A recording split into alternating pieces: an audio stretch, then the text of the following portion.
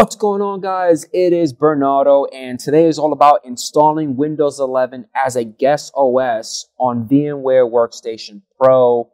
So let's get right into it. All right, so I wanted to install Windows 11 within my VMware Workstation 16 Pro and I received this problem. I was like, holy crap. I did a lot of Googling and I basically Frankenstein a workaround to get Windows 11 working within VMware Workstation Pro with no problem. So this is how I did it. First thing that we need to do is shut down the virtual machine and we need to head to the location where the virtual machine files are located. We need to open up that VMX file. I open it up with my favorite notepad, uh, which is Notepad++.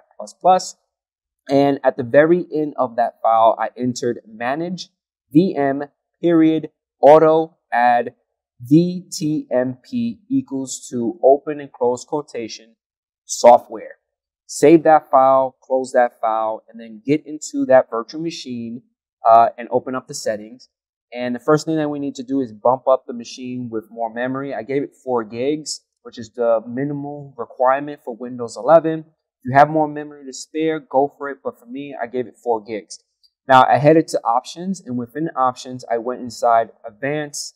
Make sure that you have enable secure boot enabled. I think by default, uh, VMware Workstation Pro 16 has UEFI uh, set. Just make sure you enable secure boots.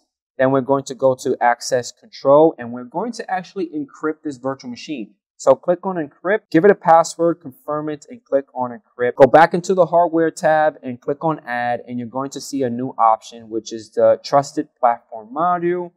Select it, finished, click OK. Now start your virtual machine, let the ISO do its thing. It's probably going to ask you to uh, hit a key to boot into the DVD or CD or whatever.